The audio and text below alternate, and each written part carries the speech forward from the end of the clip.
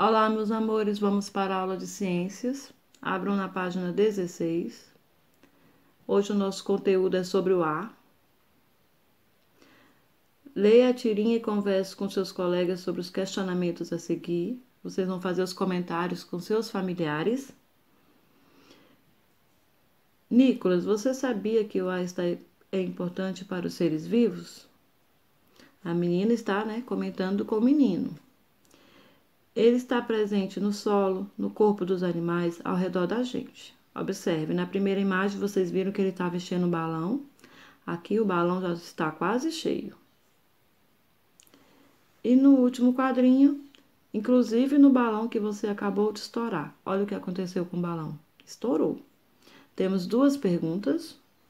Por que o balão estourou e em que lugares podemos encontrar o ar? Por que, que o balão estourou, crianças? Hein? Porque ele encheu demais, né? Então, todo o ar que estava presente nos seus pulmões, ele, ó, no processo que ele estava enchendo o balão, ele, esse ar foi parar dentro do balão. Só que ele encheu demais, por isso que estourou. Tá bom? E a segunda pergunta, aqui no segundo quadrinho já responde, tá? Em que lugares podemos encontrar o ar? No solo, no corpo dos animais, ao redor da gente, tá bom? Continuando, página 17.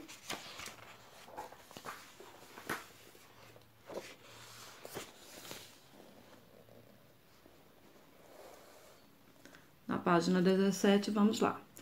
Nosso planeta é revestido por uma camada de ar, que é a atmosfera.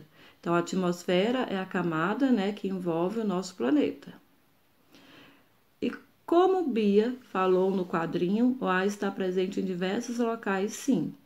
Mesmo que não seja possível vê-lo, conseguimos senti-lo através do vento, por exemplo.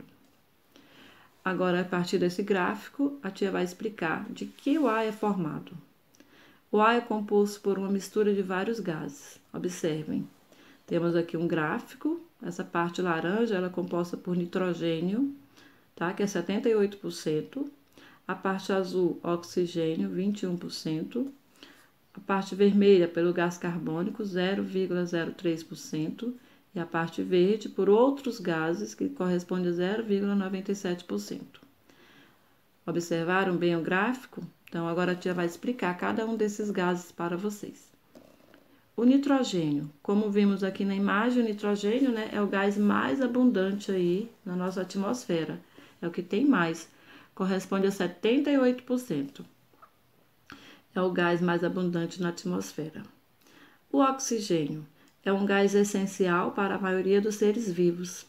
Ele é captado através da respiração e utilizado nos processos vitais de plantas e animais, inclusive o ser humano, tá? Então, o oxigênio, que é essa parte azul, é, corresponde a 21%, que é o gás que nós utilizamos na nossa respiração. Apesar do gás carbônico ser encontrado em pouca quantidade, possui uma grande importância. Ele é utilizado pelos vegetais na produção do seu próprio alimento, tá? Através da fotossíntese. Então, fotossíntese é o processo em que as plantas produzem o seu próprio alimento, tá bom? Por meio desse processo, as plantas e algas retiram o gás carbônico da atmosfera e liberam oxigênio, que é o gás essencial para a respiração dos seres vivos. Além dos gases citados, estão presentes o vapor da água, poeira, impurezas e diversos micro-organismos. Vimos então nessa parte aqui, ó, vermelha a parte do gás carbônico, que é 0,03%, e a parte verde, composta por outros gases. Continuando. Agora vamos falar sobre a poluição do ar, meus amores. A poluição do ar é causada pela alteração de sua composição, né? A composição é alterada, produzida principalmente pelas queimadas e por emissão de poluentes das indústrias e automóveis. O ar poluído pode se tornar extremamente tóxico e comprometer a saúde dos seres, que os, dos seres vivos que o respiram.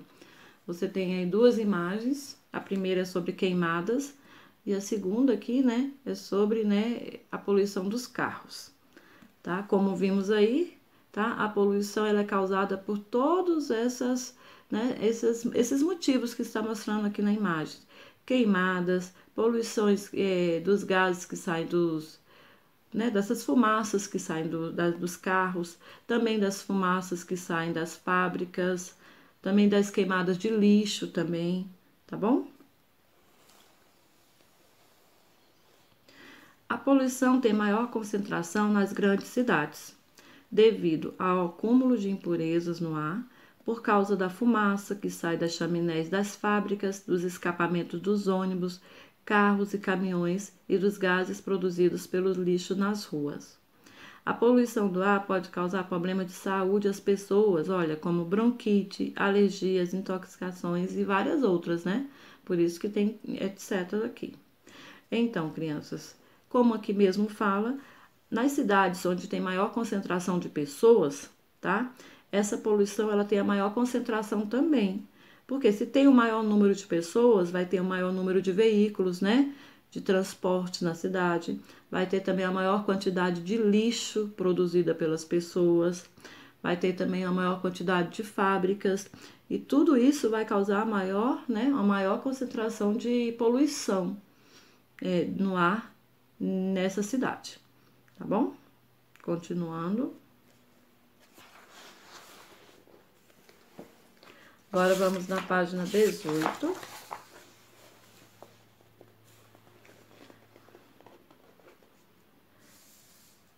Agora, meus amores, vamos falar sobre os efeitos da poluição do ar, tá? O que causa, né?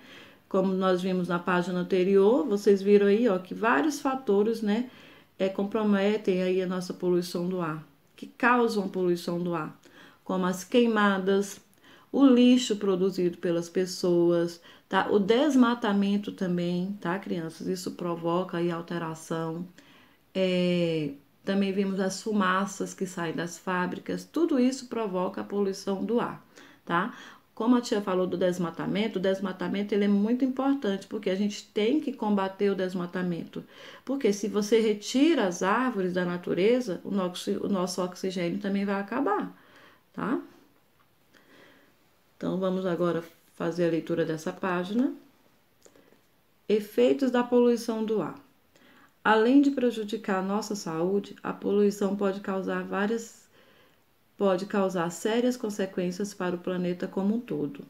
Aqui vamos trabalhar um pouquinho sobre aquecimento global. Você já ouviu falar nessa palavra? Desde o seu surgimento, a Terra já passou por períodos em que a temperatura sofreu grandes variações. No atual momento, é natural que ao longo dos anos ocorra um leve aumento na temperatura do planeta. Porém, a grande quantidade de gases e poluentes acumulado cada vez mais na atmosfera parece fazer com que o nosso planeta aqueça mais que o normal. Como as máquinas e os equipamentos se desenvolveram, as cidades cresceram e o número de automóveis e indústrias aumentou consideravelmente nas últimas décadas. Consequentemente, ocorreu um crescente acúmulo de fumaça no ar. É aquilo que a tia falou, né? Quanto maior o número de pessoas na cidade, maior a quantidade de lixo, né? De fumaça, de veículos, tudo isso vai dando aí, né? A poluição no ar, causando mais poluição no ar. O aumento desses poluentes se dá principalmente pela queima de combustíveis fósseis, tá? Dos veículos e das indústrias, Combustíveis fósseis, meus amores, são o carvão mineral, o gás natural e o petróleo, tá? O petróleo é que se origina aí na gasolina, tá bom, crianças? Que é utilizada nos carros. O aquecimento do planeta pode causar alteração na frequência e intensidade das chuvas, o que pode trazer consequências para a agricultura, por exemplo, ou intensificar fenômenos meteorológicos, que tempestades, secas, inundações. Como vocês abaixo aí no seu livro, tem a imagem de um furacão, né? O furacão, ele é ocasionado também aí, ó, tá, crianças? Devido ao aquecimento do nosso planeta, tá? Com o aquecimento do planeta, o que está causando aí, ó? Então, é, a cada dia que se passa, você tá vendo mais aí o que? Tempestades, é, inundações. Tudo isso também afeta a agricultura, a parte da agricultura, tanto na seca como nas inundações, porque as plantinhas podem morrer, tá bom? Aí causa muito problema na agricultura. Continuando. Agora vamos trabalhar como acontece o aquecimento global do planeta. A partir de um fenômeno conhecido como efeito estufa, tá? Que recebeu essa denominação porque se assemelha com o funcionamento das estufas, como as que são usadas para cultivar plantas. Observe o esquema a seguir. Quero que vocês observem aqui essa imagem. Você tem aqui a Terra, aqui no meio aqui dessa parte azul corresponde à atmosfera. Aqui tem o calor, tá? E vai subindo. Tem os raios solares que estão vindo para a Terra e também sobe para a atmosfera, tá? Observe que também tem fábrica, né? Fumaça dessas fábricas que estão tudo se misturado aqui na atmosfera. O Sol está sempre mandando os raios, como vimos aqui, ó, ele está mandando raios, que emitem luz e energia e calor. Mas, por causa da grande quantidade de poluentes existentes no ar, o calor não se dissipa, ficando retido na atmosfera, o que provoca o aumento da temperatura. O que, que quer dizer isso, meus amores? Que devido aos poluentes, né, como as fumaças de carros, de fábricas que estão aí, ó, no ar, né, se misturado aqui na atmosfera, tá? O calor, ele, esse calor que o raio solar está mandando para cá, para a Terra, ele não consegue se espalhar aqui, ó. Ele não se dissipa, ele não se espalha pela atmosfera, tá? Aí ele vai ficando preso aqui, ó. Acaba que ele ficando, ele fica preso aqui nessa camada, né, da atmosfera que fica em volta do nosso planeta. O que causa, né? Ele vai o quê? Ele vai aumentando a temperatura do planeta Terra, porque ele não consegue se espalhar. Aí acontece que o planeta vai se esquentando cada vez mais. Que fazer para reverter né, essa situação? Algumas medidas podem ser adotadas para amenizar tais consequências, como controlar a quantidade de poluentes emitidos pelas indústrias, por indústrias, reduzir o uso de combustíveis fósseis como gasolina, diesel carvão, utilizar menos, né? Utilizar combustíveis biológicos ou biocombustíveis, como produzidos a partir da soja, milho e cana-de-açúcar. Tá, crianças? Então, se essas observações né, foram, fossem mais adotadas, poderíamos diminuir aí, tá? É, esse aquecimento no nosso planeta. Entenderam, crianças? Então, a tia aqui explicou um pouquinho como acontece o aquecimento do nosso planeta, né? Que é devido a toda essa poluição que está aqui, ó, tá? Na atmosfera, né? Em volta do nosso planeta, tá? Por isso que os raios solares não conseguem, ele não se dissipa aqui, ó. Aí isso é o que está acontecendo, né?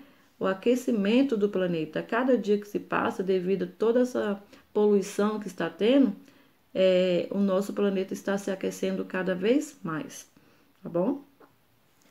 Agora, crianças, a tia fez a explicação de todo o nosso conteúdo da aula de hoje. Então, agora eu vou deixar um dever de casa para vocês aí na página 19. A tia vai explicar rapidinho. O dever de casa é só na página 19. Olha a questão número 1. Responda as perguntas a seguir. A letra A. O que é a atmosfera? Na letra B. Quais são os gases que formam ar? A tia falou tudo isso lá no texto. Questão 2. Assinale V para as alternativas verdadeiras e F para as falsas. Leia cada frase e veja, né? Leia novamente o texto e veja se é verdadeiro ou falso. Questão 3. Quais os problemas de saúde podem ser ocasionados por, por causa da poluição do ar? A tia também falou sobre algumas doenças. A questão 4. Observe a imagem, vocês vão observar. A letra A. Qual fenômeno está representado na imagem? Lembra do fenômeno que a tia acabou de explicar? Aí vocês respondam. Letra B. Explique com suas palavras como ocorre esse fenômeno. E a letra C. Quais os fatores são responsáveis por causar o aumento do aquecimento global do planeta? Então, esse é o dever de casa. Vocês, por favor, leiam novamente todo o texto que a tia leu, tá? Leiam novamente para poder responder essas perguntas aí. É bem fácil, é bem tranquilo, tá bom, crianças? Então, essa foi a nossa aula de hoje de ciências, tá bom? Na próxima aula, a tia já vai começar com a correção do dever de casa. Então, beijinhos, crianças, até a nossa próxima aula.